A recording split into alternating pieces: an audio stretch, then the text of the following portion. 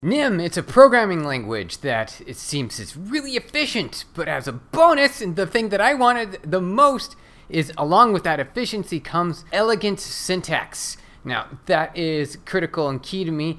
Obviously, with things like we look at Rust, for example, which has all these built-in safety mechanisms that are very necessary, especially when you're running at high scale and you need reliability for uh, for concurrency safety, memory safety, and it still performs as well as C. That's amazing. Though it's quite syntax heavy with Rust, comparing that with Nim, where it's achieved a lot of its inspiration from programming languages like Python. The great part that we see here with Nim is that it's statically typed and it's compiled, and that allows the compiler to take uh, all, all of the user's ideas and inputs uh, using the simple simplified language, I just want to scroll that really quick. Look how, let's see, look how clean and easy this is. Very simple, expressive syntax. We can see there's minimal symbols that are being used. I really like this. It's clean, it's easy to read. You kind of know what's happening here. Just taking a look, we can see that the, we're defining a person, which is an object type that has two,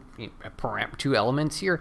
We have uh, a name and age, string, and natural. Okay, I guess this is going to be a, a positive, a positive integer, and then you easily instantiate them. That's really simple and clean. I like that. It's really easy to understand what's going on here. The NIM programming language just has a, a lot of built-in efficiencies and an overall excellent developer experience when you're actually writing the code.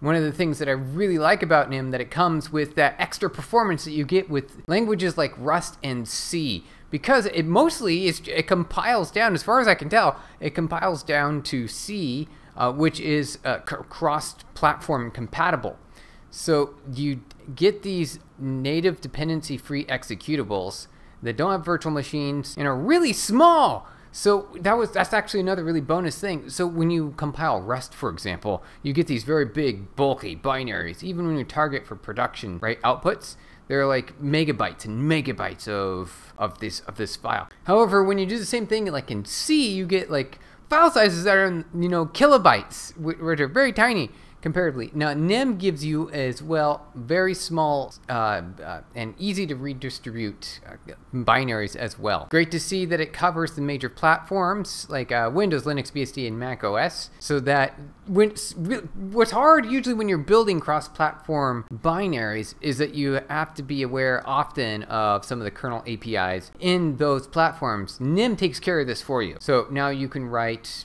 uh, IO code is easily uh, as you would, or even more easily than in any other language, and it will automatically compile down to the right uh, target for you. This is a big one, memory management. We're talk talking about NIM's features. Now, the, the tricky part is being able to prevent the user, the developer who's writing the code, from making accidents, right? Because it's really easy to do some whoopsies. I forgot to instantiate a verb or allocate memory or deallocate memory and free it, so which you know causes leaks. This is problematic because now you've created uh, code that you would deploy to production that creates bugs that are hard to find. They used inspiration from C++ and Rust, which allows you to uh, have better, ah, better memory safety. Okay, with the move semantics. So often another challenge is when you're dealing either with concurrency or ownership or just general ways to access memory once you've already allocated it. The problem can be if you have race conditions somewhere with the in the memory, you might have two threads that are trying to access the same thing. And the idea with the move semantics, it kind of tells me its uh, ownership level of variables within certain scopes, right, within context.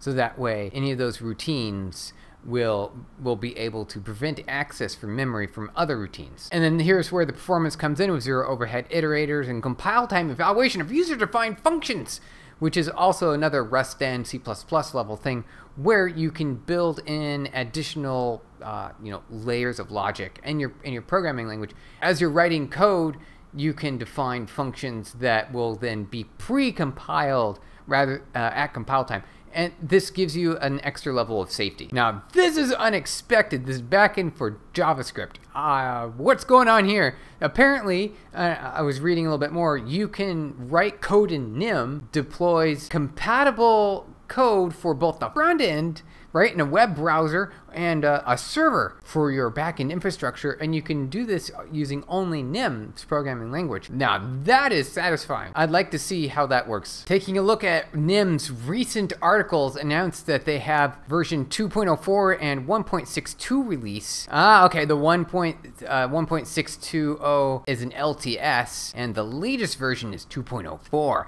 And what's fancy in 2.04 is that they've added some interesting concurrency capabilities with multi-threading. There's this handy utility that lets you choose the compiler that's active, the, ver the compiler version that's active. Choose nim is a, but also if you're not on Oh, oh, but if you're on, if you're using ARM on one of the new Apple Silicon, uh, ChooseNim will not work for you. Oh, so you have to just manually install it. Okay. NIM includes JavaScript compilation. What? So the NIM programming language lets you write code using NIM syntax and target output for JavaScript. Now this should work on, it says here, first class support JavaScript for the backend, so you can target client and the server effortlessly at the same time. This is pretty interesting. So we see an example of what that syntax looked like. I was really curious about this. What is it? So you just import DOM, right? So a document uh, object model here. Define a function, and then you just use it as you would JavaScript. Oh, interesting. It looks almost exactly as you can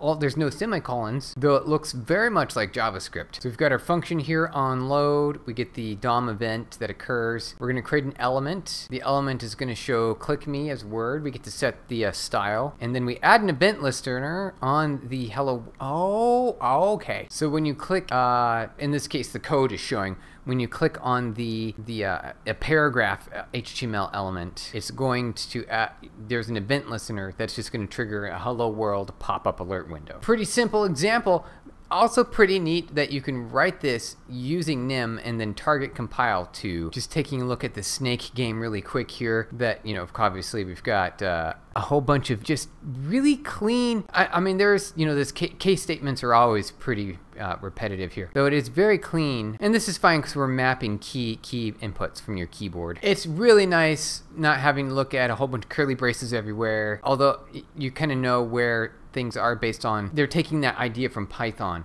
where indentation uh, is going to represent closure. Oh, I just said there are no curly braces. And look at what we see just right here.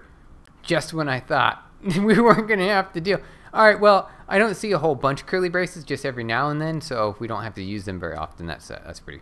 Obviously, it's not hard to type a curly brace.